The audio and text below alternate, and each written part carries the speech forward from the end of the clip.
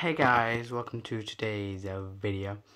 And in today's uh, video, I know it's the weekly video, but I've got an important announcement to say. I am actually taking a bit of a break from YouTube. Now, the break is going to be consistent of... There's still going to be content. It's just going to be Paw content uploaded by Chase.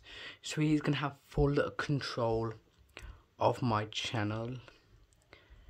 So yeah, I know is quite a short one, but I just thought, so yeah, he'll be in control and